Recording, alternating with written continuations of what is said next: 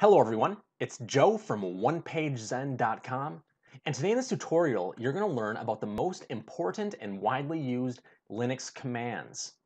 Now, for this example, I'm going to be demonstrating and explaining each of these commands in a Google Cloud Platform shell. But it should be noted that the commands will be the same regardless of whether you're running your application on AWS, Azure, or Google Cloud. So let's get started. So the first thing I'm going to do is I'm going to go to my Google Cloud Platform compute engine. And I'm going to SSH into my virtual machine instance here. Now this machine is running WordPress, but it doesn't matter as long as your machine is running Linux. All right, so the first section of this tutorial is user permission commands. So the first command we're going to look at is the sudo command. Now, the sudo command is used to run a specific command with root permissions. So for example, if I wanted to restart my Apache server, I could write apache control restart. However, as you can see here, I do not have the required permissions to run that command. So what I could do is put sudo, uh, put sudo in front, apache control, and restart. And now you can see my Apache server restarted just fine. Now, a variation of the sudo command is sudo dash i. And what that does is it changes you from your current user to a root user. So you can see here, I, I, my user switched from OPZ viral to root.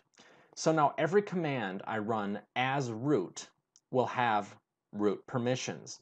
So instead of having to put s uh, sudo in front of the Apache control restart command, I can simply run Apache control restart.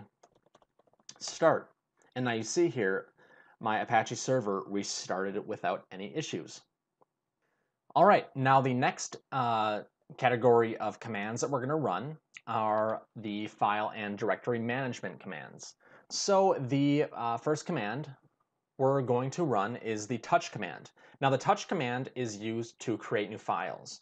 So we're going to do touch home my file txt and what this command is going to do is it's going to create a file called myfile.txt so I can run that and now I'm going to use the echo command to insert some text into the myfile.txt file that we just created.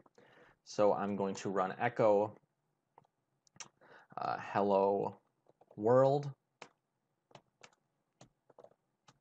my file txt.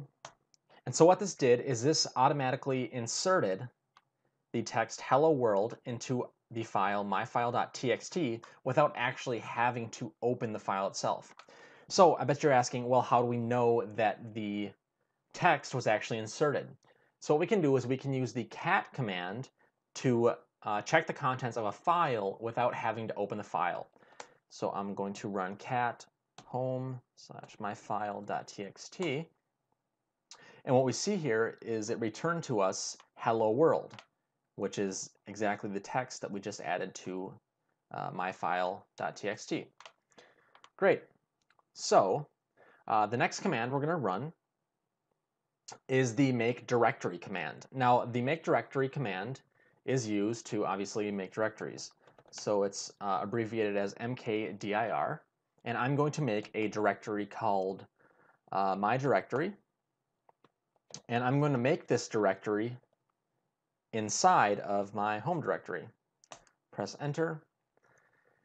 And now what I'm going to do what I'm going to do is I'm going to use the move command, which is abbreviated as mv, in order to in order to move the myfile.txt file that we created to move it into the my directory directory that we just created.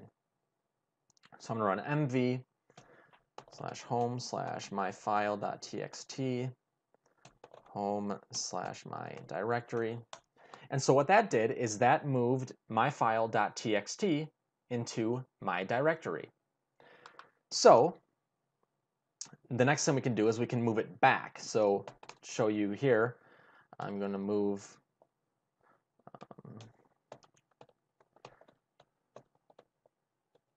Now you can see here I'm putting in the current location of uh, my file.txt, and then I'm going to put the location where I want it moved to, and I just want it moved to the home directory. Press enter, and there we go. Now the next command I'm going to run is the ls command. Now the ls command is used uh, to check the contents of a directory. So I could do ls home slash my directory. And you can see here it's returning nothing, and that's because my directory is currently empty. Remember, we just moved uh, myfile.txt into my directory, and then in the following command, we moved myfile.txt back to the home directory.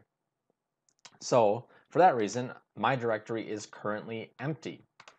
So the next command we're going to look at is the wget command. Now the wget command is used to download repositories uh, from a location on the internet. So I'm going to use the wget command in this example to download the certbot files. Now certbot, if you follow my other tutorials, is um, what we use uh, in many of the SSL related tutorials. So I'm going to do S, uh, wget,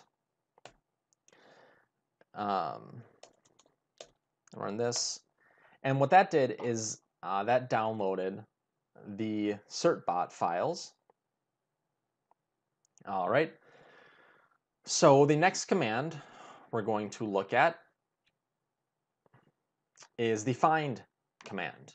Now the find command is used to uh, search for files or directories.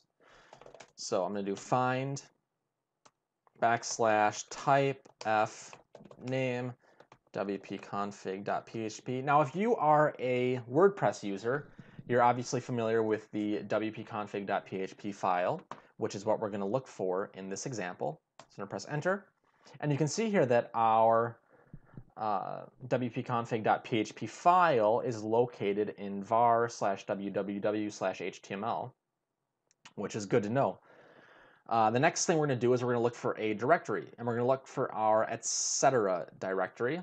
So I'm going to do find slash type d name, etc. And you can see here that our etc directory is located in uh, user slash local. So there we go. The next thing we're going to look at is uh, the stat command. And the stat command is used to check default permission levels of files and directories. So in this case, I'm to use the stat command to check the default permissions of myfile.txt. Uh, so I'm going to run stat dash c. And home slash my myfile.txt and press enter. And you can see here that it returned the uh, default permission level of my myfile.txt, which is, as it shows, 644. Now we can also do the same thing with a directory. I can run stat c and home slash my directory. And see here, uh, the directory, the default permissions are 755. All right, so now that we know what the default permission levels are for the myfile.txt and my directory, we can change them if we need to. So to change them, we are going to uh, use the chmod command. So I'm going to use the chmod command right now to change the default permission level of myfile.txt from 644 to 755. So I'm going to do chmod 755 slash home slash myfile.txt. Press enter, and you can see here this uh, changed the permission level of myfile.txt uh, myfile.txt to 755. And the next thing I'm going to do is I'm going to change the uh, default permission level of my directory to 777. So I can do chmod 777 home slash my directory. And this changed uh, my directory, the permission level, to 777. So if we wanted to, uh, imagine that my directory contained a lot of files, and we also wanted those files to inherit those that same level of permission. What we could do is we could make this command recursive by doing chmod r, uh, chmod r 777, uh, my directory. And what this would do is it would make everything contained within that directory also inherit permission level of 777. All right, so the next thing we're going to do is we're going to run the rm command. Now the rm command stands for remove, and it's used to delete files and directories. So I'm going to delete my myfile.txt file by using the rm command. I'm going to run rm slash home slash myfile.txt, press enter, and I'm also going to delete my directory called my directory. So I'm going to do rm, and I'm going to make it recursive so that it deletes all of the files contained within my directory as well. I'm going to do home slash my directory, press enter, and there we go. And that's it for this tutorial. Don't forget to subscribe to my channel for future video updates, and don't forget to check out all of the cloud tutorials available at onepagezen.com. Also, if you found this video interesting and want to explore even more Linux commands, check out the extended version of this tutorial at onepagezen.com. There is a link to that tutorial in the description to this video. Thanks a lot for watching.